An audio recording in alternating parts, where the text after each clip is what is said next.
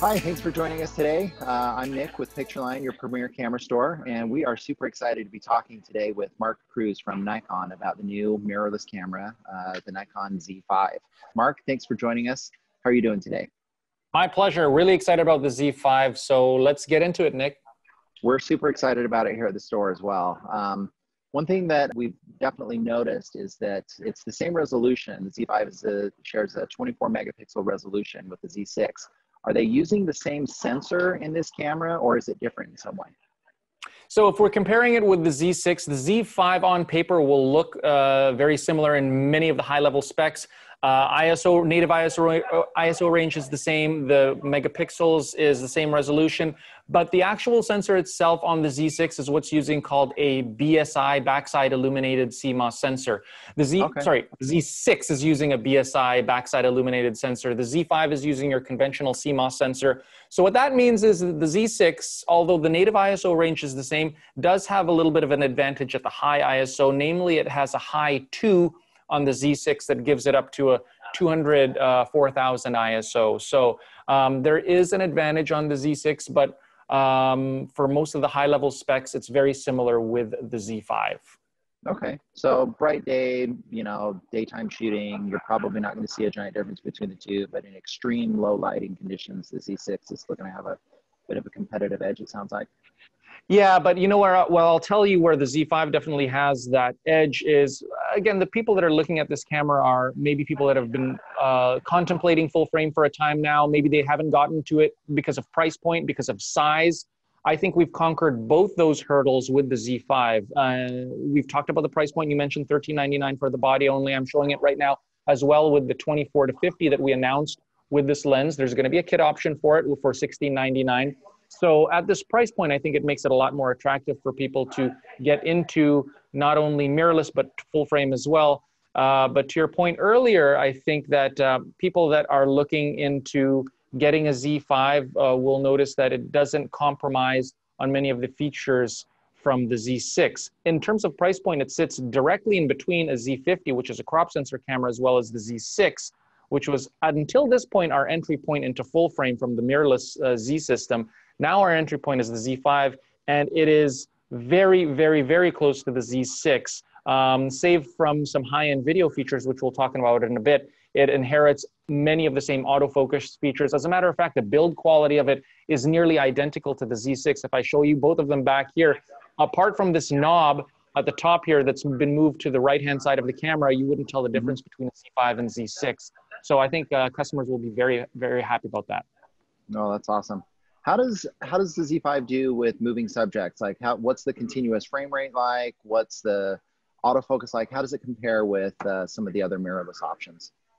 Yeah, so for for people coming in looking for a great quality stills camera, they're going to see a big difference coming from say your customer is upgrading from a maybe five year old DSLR camera and they want a good camera from now in 2020. They also want a full frame camera the autofocus features and the technology that we have in the Z system that we announced in 2018 surpasses a lot of the limitations that DSLRs had in terms of the layout of the autofocus grid. So we've inherited the same 273 point array that we use in the Z6, but more importantly, it encompasses 90% of the frame. Essentially, you can focus anywhere in the frame, giving you freedom of composition, rule of thirds even, um, and just being able to compose anywhere in that frame reliably uh, whereas the cluster of focus points is usually concentrated in the middle on a conventional DSLR camera.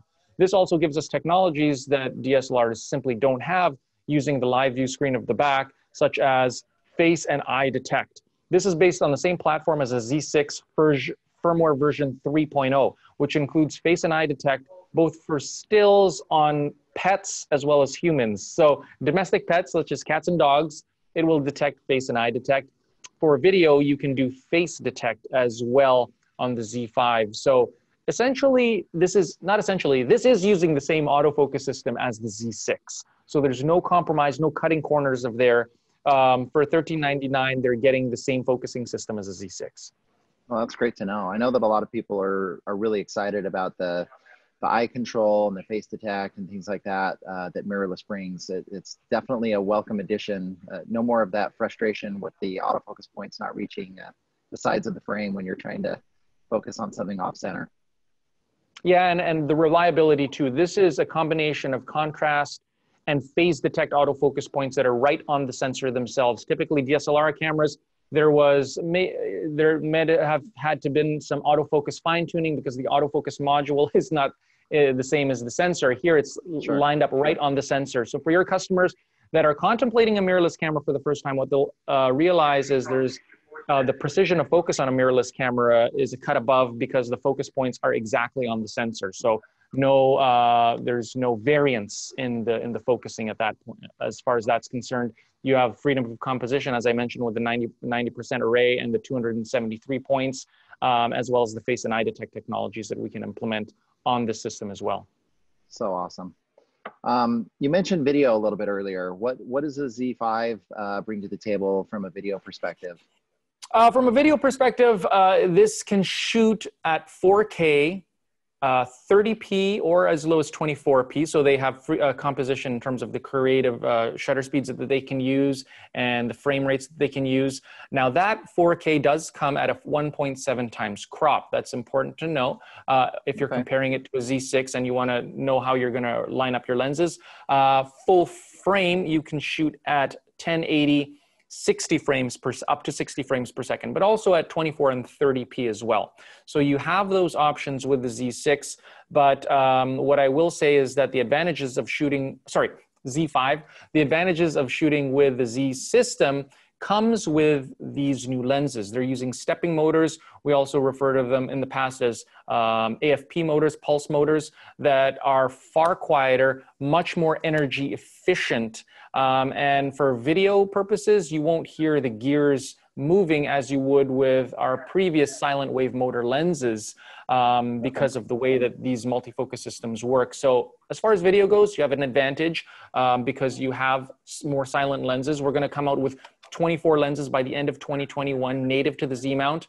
Um, you also have things like focus peaking, four different colors. You have uh, zebra patterns on this as well. You have other aids for video, such as headphone and microphone inputs on the camera, as well as uh, you know um, audio monitoring on the camera itself. So for a video production device, even using it what I'm using it right now as a webcam, as a very high-end webcam, you can do that oh, as cool. well especially now that we have a USB power delivery with the Z5. This is the first camera that has USB power delivery. So for video production, where you exceed the battery life of the camera, that's always been a problem because you would have to interrupt the production uh, to insert a new battery. We've had uh, battery packs in the past, but this is the first one that will actually let you shoot indefinitely using USB power. You will need the ENEL15 B or C battery in the camera. But essentially, at the most taxing point of the camera, shooting 4K, uh, it's actually delivering more cam more power into the camera than it's using.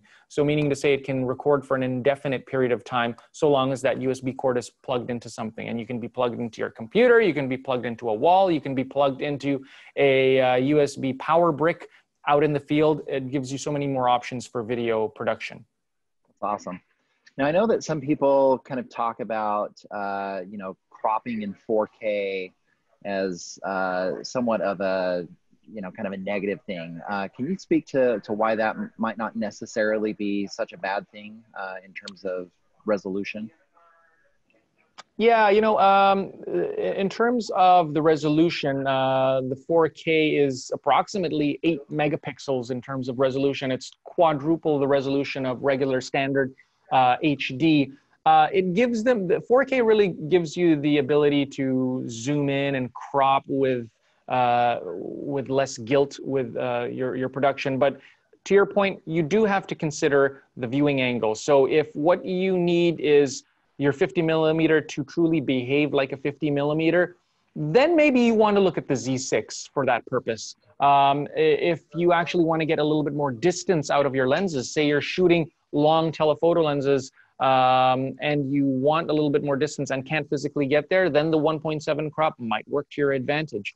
Uh, but in this case, uh, that's the reality of the lens. Um, but uh, uh in terms of the resolution, you're going to have a little bit more freedom now to zoom in and crop in post uh, through your video but uh, definitely giving you better output when you're putting it on a bigger screen as well because of that resolution. So uh, people awesome. have to look at those things when they're deciding between a Z6 or Z7. Z6 will also have 10-bit output through the HDMI port, as well as 120 frames per second. I just want to get that out there if people are looking for a video production uh, from the Z system. The Z6 will actually give them 120 frames per second, as well as N-Log or the option for raw output through the HDMI.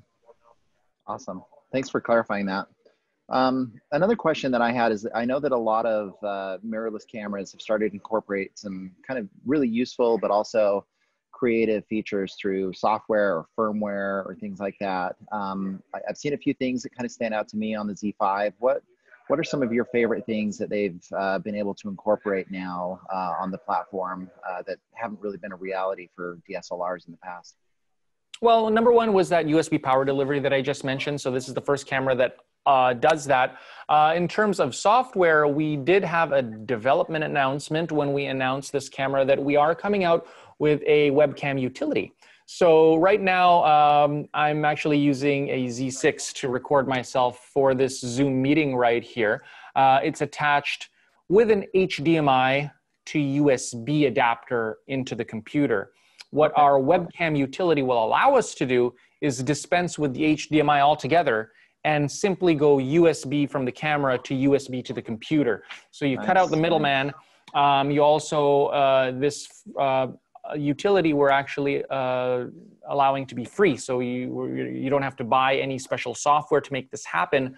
Uh, it will be free and it will also be compatible with our Z cameras as well as some select DSLRs as well. Um, that's nice. a breakthrough because in our world right now where we're doing a lot more of these web conferencing and streaming and things like this, uh, people are a lot more reliant on their webcam that's basically built into their laptop or their desktop. Uh, and they want to get better quality. They want to be able to adjust lighting, adjust aperture, adjust ISO. You can do that now sure. with your with your mirrorless cameras and we're that's one of the exciting things that we're delivering uh, as far as the z5 goes we've also implemented things in here that are exclusive to this camera time lapse uh, we can now do at the same time as interval timer uh, photography so in the past, you've, been, you've had to choose between one or the other. You can shoot at the full high resolution 24 megapixel interval timer, or you, you had to choose between that or uh, generating the time lapse. Now you can do them at the same time. So if you're out and about and shooting star time lapse or sunrise sunset time lapse, then you want to grab a frame from that. Basically, you would be relegated to the resolution of the video. Now you can have the video and the full resolution stills at the same time. I know you're running short on time, but I would be remiss if I didn't uh, ask one last question, which is uh, related to the memory format. Um, I know that a lot of people have been uh, looking for a mirrorless camera from Nikon that uses dual memory cards, and I noticed that the Z5 uh, is using dual SD slots. Uh, what's the response been like on that and the feedback? Well, I think our, our, our decision to come out with this was based on the feedback that we got right out of the gate when we came out with the Z system a couple of years ago. And in less than two years, this is the fourth camera that we've come out with for the Z system, the third full frame. And we listened to the customers in this case want, wanting that dual card slot, the redundancy and the peace of mind that wedding and event photographers need when they do their jobs. Uh, a lot of people said, you know, if you came out with a Z6, even if it was just SD card slots, I would jump to that. Um, and that's essentially what we delivered with this Z5 system. Also, the readily available Z, uh, SD card format is really something that is more in line and congruent with this type of customer base. Uh, but uh, it is UHS-2 compatible, so you can get the high performance 300 megabyte per second cards. Um, they're both uh, SD card compatible here. The, our minimum that we suggest people get is a UHS class 3 card, and that'll keep up with the 4K uh, writing capability to it. But um, okay. if you're uh, a wedding and event photographer and you wanted to get into the Z system, but for whatever reason just could not uh, do with the single card slot of the Z6, now you have that. And, and I know a lot of people are out there thinking, well, what do I lose? You know, what kind of focusing do I have to put up with now, et cetera, et cetera. This is the same uh, focusing system, essentially the same ergonomics, uh, same button placement, uh, same resolution of the viewfinder, all uh, same battery in this, same grip, etc., etc. Uh, and that gives people the ability to take it out reliably now for events. So I think people are going to be very happy about that. There are three different ways you can set up the dual card slot. You can use it as an overflow. So when one card gets full, it writes to the other. You can use it as a full backup, or you can assign one to be JPEG, one to be RAW. So You can even copy between cards. So if there's a file in a one, you want to send one off to a runner, you can copy it to that card in camera and send it off to someone. For video, you can assign one card to write to, so it's either one or the other. But in camera, it will actually tell you how many minutes and seconds you have left available on each card, so you can assign it to the card that has the space that you need.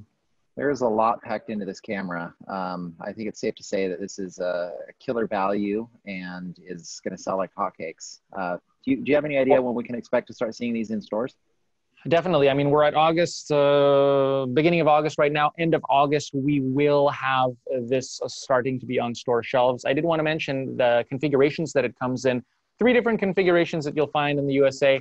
Uh, number one is body only. So if you're looking, if you're already into the Z system and you just need a second body, um, there's that available. Uh, we also have it available with the quote unquote, I'll say kit lens, but this is kit lens reimagined as far as I'm concerned. A lot of people, when they go into full frame, one of the reasons they may have balked at full frame in the past is simply the size of the lenses. And there's the physics around the mount. They had to be larger. If you think about all the 24 to 70 lenses out there right now, none right. are this small, this flat, this light. Um, right. But for the performance that you're getting out of this 24 to 50 millimeter lens, it is something that doesn't compromise on the quality of the sensor. So it's a perfect harmony, and that you will save $100 when you get it as a kit. So that'll be $16.99. You can get it uh, lens only uh, for $3.99. Uh, and there is a third option uh, that comes with the 24 to 200 millimeter that will also be a kit configuration for $21.99 with the Z5 as well. So there's three different options you can get the Z5 with uh, tremendous value when you get it with the 24 to 50. I will mention the aperture on this is a f4 to 6.3, but what we've realized is, especially for your viewers that are watching this that haven't gone into mirrorless yet, is that because of the quality of the electronic viewfinder, because of the fact you can make it bright, we are able to get past those obstacles that we had with optical viewfinders where 6.3 was very, very dark in the viewfinder. Now we can see crystal clear through the electronic viewfinder or the back LCD screen um, what the exposure is. So 6.3 used to be a hurdle, I would say, for DSLR in the DSLR world is now something that's much more a benefit now with the mirrorless system and the Z system well, because we have the electronic viewfinder. Yeah, and with the cameras performing so much better at high ISO, it's not as much of a hurdle uh, in that regard either, it sounds like that too that too absolutely. So i think we, we, we can make the right compromises here in terms of size weight price point um, and i think a lot of people will be looking at this now especially when it comes out and they have the reassurance knowing that well this is essentially a z6 um, without a couple of the high-end video features. Uh, that's been out on the market now for a couple of years. The reviews are out there and i think people can confidently pick up the z5 and know that well there's very little that has changed. Essentially, uh, you're you're getting a, a quality quality entry into full frame at this point. Awesome. Well, Mark, I know that you are busy and have another call lined up right behind me, uh, so I will let you go. But thank you so much for being here today and uh, talking to our, our audience a little bit about the Z5. We are super excited to see it, and hopefully we'll get to do this again uh, on the next release. My pleasure, Nick. I'd, I'd love to do it again on the next release, so uh, please have me back. Thanks so much. And thanks to all of you that are joining us. If you have any questions, please uh, give us a call here at the store or come in and take a look at the new Z5. Thanks for joining us.